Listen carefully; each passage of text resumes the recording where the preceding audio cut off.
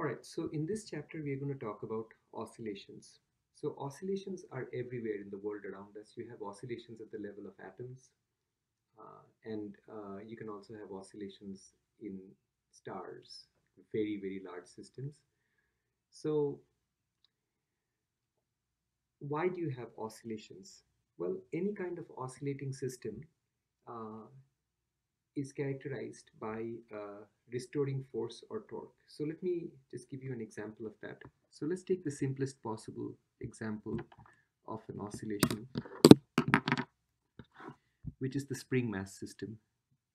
And since that's one of the easiest systems, we are going to focus on that a lot in this chapter. So the spring mass system consists of a spring which is connected to a mass and the mass is sitting on an absolutely frictionless surface. What would happen if you displace this mass a little bit? So if you move this mass a little bit to the right, maybe move it over here, let's call this point x equals 0 and let's call this point x. So you've, you've stretched the spring by an amount x uh, and let the mass go. So what is what's going to happen is that the mass is going to feel a force to the left, which one which will try to bring it back to x equals zero. You might recognize this force back from chapter 11. We call this kind of force, which try, tends to bring a system back towards equilibrium, as a restoring force. So when you displace this mass, so originally the mass was in equilibrium, when the spring was not stretched, uh, all the forces on it were zero. But when you stretched it, there was a force on it which tends to bring it back to the equilibrium point. So you can clearly see that there is a restoring force in this case. What's what's the uh, what's going to happen next if you let it go? So the mass will come back to x equals zero the restoring force will vanish at x equals 0 because you know that the spring is not stretched, so there is no reason for the spring to exert any force at that point. However, the mass is not going to stop at x equals 0. It will, as a result of inertia, it will continue moving and maybe move somewhere over here.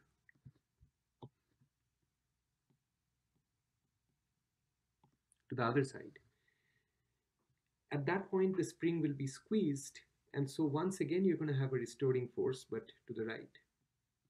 And that will push the mass back towards x equals 0, but it will again have a velocity. And so it won't stop at x equals 0, it will go over to the other side. And so the system will just keep oscillating back and forth. If there is no friction, then this oscillation will just continue forever. Okay, so you can see that any kind of periodic motion or oscillation uh, needs to have a restoring force. It could also be a restoring torque, not necessarily a restoring force. And I can show you an example of a restoring torque. Okay, consider a pendulum. Uh, a simple pendulum just consists of a massless string uh, with a point mass attached at the other end. Point mass just means that the mass doesn't have any appreciable uh, spatial extent. And the string is also very very light okay? So if you just let this mass hang then it's in equilibrium. The system is in equilibrium. But suppose you displace the mass by a certain angle. Now it's no longer in equilibrium because you have the gravitational force acting down like this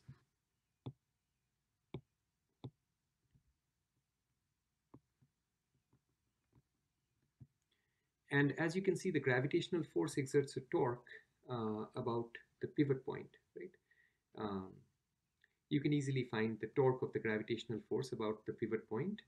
Um, and so this torque will try to rotate the pendulum back to its equilibrium position, right? So this is an example of a restoring torque.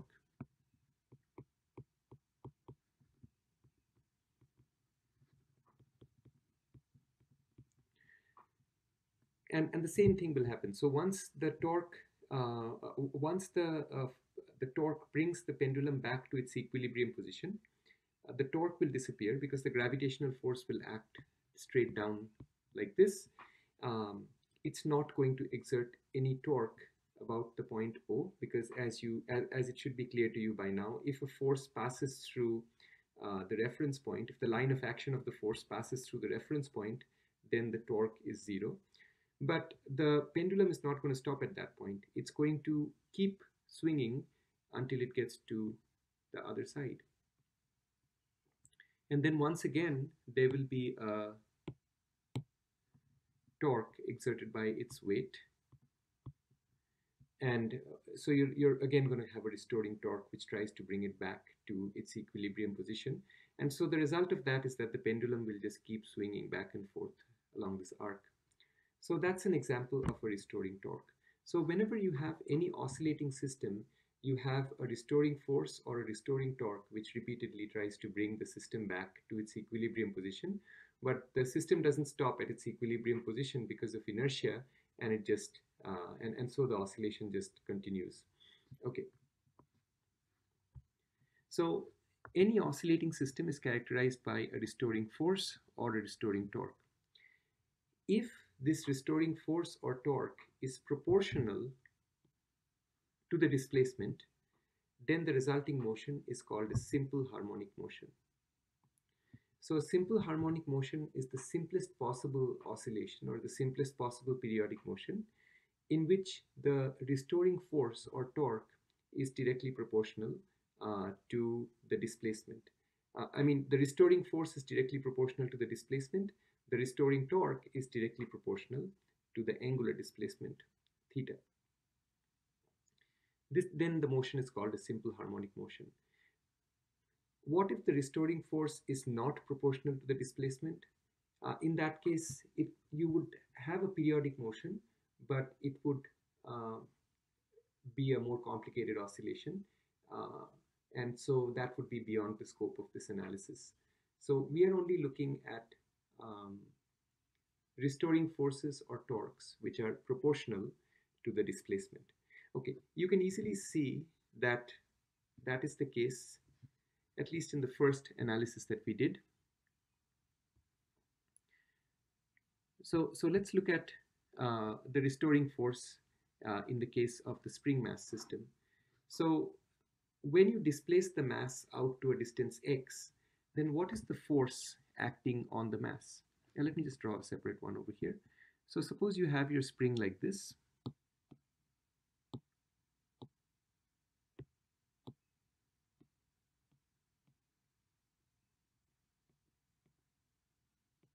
This is x equals 0.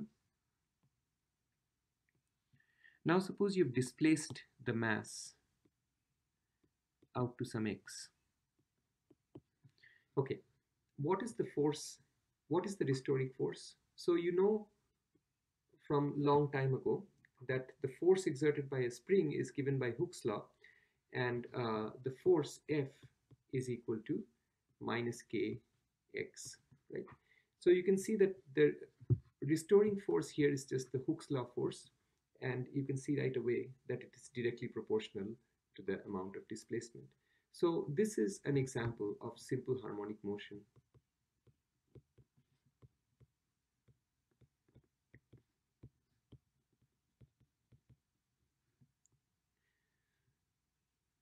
What would not be an example of simple harmonic motion? Suppose you had uh, a force which was characterized, uh, uh, suppose you have some really weird wonky spring which does not obey Hooke's law, right? So suppose in for that uh, weird spring, F is equal to, instead of being minus kx, it's minus kx to the power of 3, right?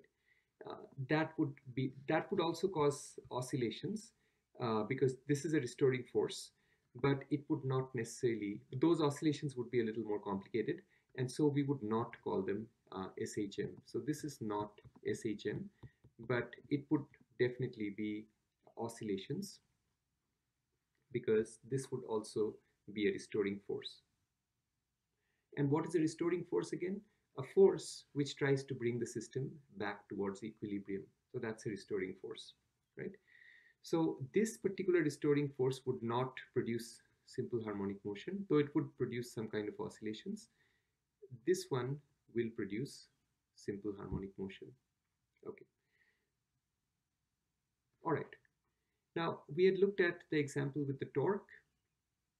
You can prove that the torque produced by mg is going to uh, be proportional to the angular displacement, theta.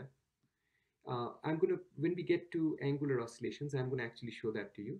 So here also the restoring torque produced by mg, you can show that it's approximately proportional to, um, it's approximately proportional to some constant I mean, uh, or I can write it like this. It's approximately some constant times theta. This I'll show to you later on. So my point here is that since the torque is, is proportional to theta, this is also an example of simple harmonic motion. So whenever the restoring force or the restoring torque is proportional to uh, the displacement for the force and the angular displacement for the torque, then we say that the motion is uh, simple harmonic and this, this should have a negative sign the motion is simple harmonic motion. Okay. So let's continue analyzing. Uh, okay, let me first show you, see if I can show you the simulation.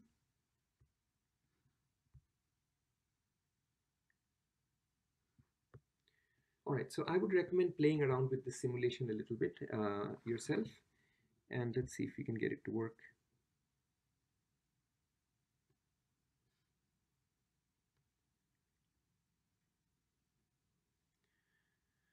Okay, so this is a simulation of a spring mass system. And uh, you can see what's happening. So if you stretch the mass out to a certain x max, then there is a force, a restoring force, which pulls it towards x equals 0. And then the mass gets to x equals 0, overshoots, goes over to the other side, and then the force is acting in the opposite direction, and it brings it back to um, x equals 0 and and the overshoot happens again and the and this and this just keeps repeating